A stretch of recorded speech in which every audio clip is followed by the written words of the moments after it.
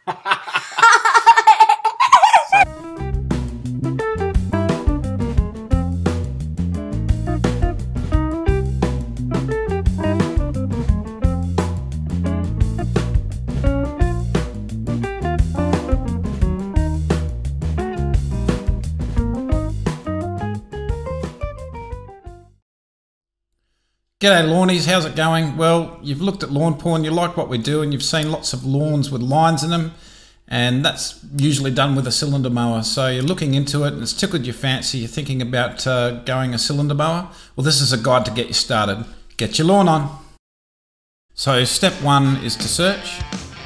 Typically for your first mower, you probably want to buy a second-hand mower, and they range from about $300 to $700.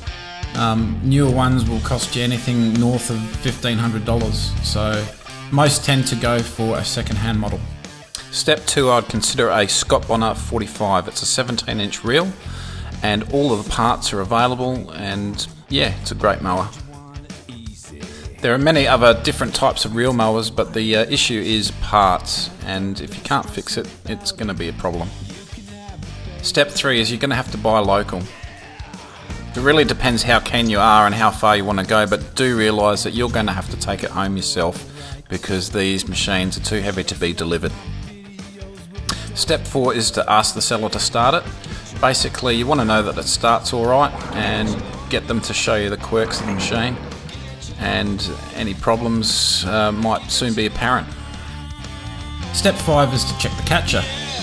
Most catchers on used machines will have lots of dents and possibly holes and that's normal for a used mower. However, that is something you might need to fix. And make sure the catcher fits the model of the mower that they are selling you. Step 6 is to check if the blades are sharp. You'll need some gloves to do this and it should be able to cut a piece of paper if they are. If not, sharpening blades can be quite costly, so you can use this as bartering power. So step 7 is to ask the seller how to use it. When I first got a cylinder mower, I had no idea how to use it, so get them to show you. If it's theirs, they should be able to. Get them to show you all the quirks of the machine and how to use all the parts and how to operate it. And if possible, get them to do a mow in front of you and maybe even give you a go. Now step 8 is to barter the sale cost. Now this is probably the hardest part, especially if you don't know what you're looking at or how to use it properly. Now I know you're keen, but number one is that you don't have to buy this mower. There's going to be other mowers that become available. Now, number two is cost. Okay, it might be a cheap mower for about $200, $300 thereabouts, but really got to think about what you've got to spend on it.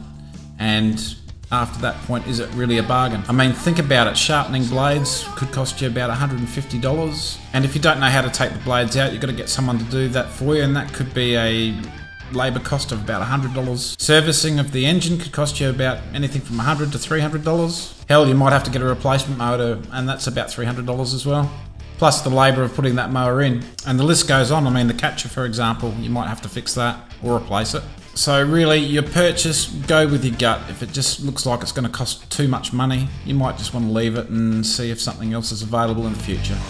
So let's assume that you've bought the mower and you've taken it home. Step 9 is to mow high for your first mow to get used to it. And then step 10 is to practice, practice, practice.